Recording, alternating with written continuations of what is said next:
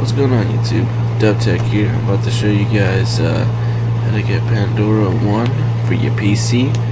Yeah, obviously, you know, well, I mean, if you haven't looked it up before anyways, you can also download music using this, okay? So what you gotta do is you can use Firefox, Explorer, whatever you want, and type in Saver. So just just the same way I'm typing it now, and 2. That's it. Press enter. Okay, should be the first one called Saver 2 by Zigzag Plug or RideTheClown. That, that's how you know you got the right one. Anything else?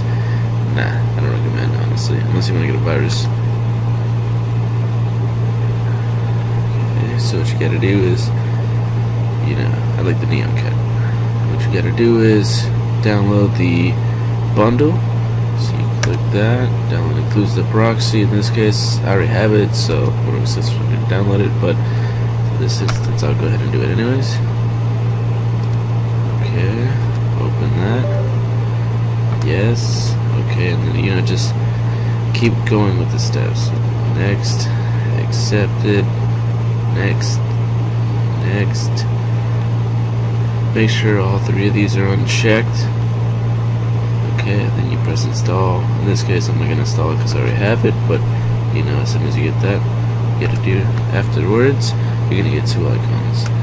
This one which is listen only, and Saver 2. If you want to just listen just to the just to Pandora itself, without you know those annoying ads and all like that, you click listen only. But if you want to use the Pandora download music directly, then you would click on Saver 2. Pros, you don't have to pay for you know the service. You get to download the music and everything else. Con is let's say you're listening to the live versions for example it's going to download that as well. But there's you know it gets kind of annoying but you, you just gotta be aware honestly you gotta deal with it.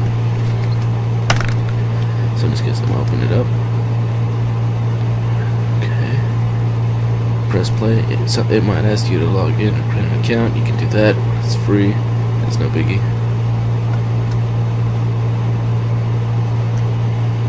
Okay, and then we just play the waiting game. Sometimes that'll happen, you just gotta, you know, just keep doing it. Sorry about that, but as you can tell, it's already downloaded, okay?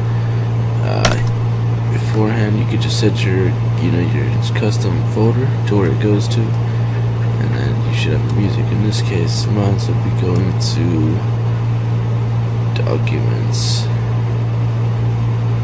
but yeah, that, that should be it. If any questions or anything like that, you know, just feel free to send me a message or, you know, uh, comment in the comment section below, like, comment, subscribe. Thanks, and that should be it.